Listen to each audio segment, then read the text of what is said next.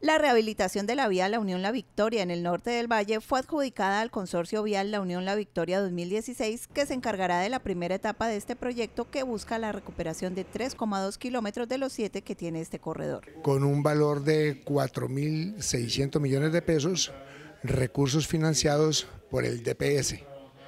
Ya de esta manera estamos iniciando la elaboración del contrato para su posterior legalización, eh, firma de acta de inicio con la correspondiente interventoría que también eh, la contrata el DPS.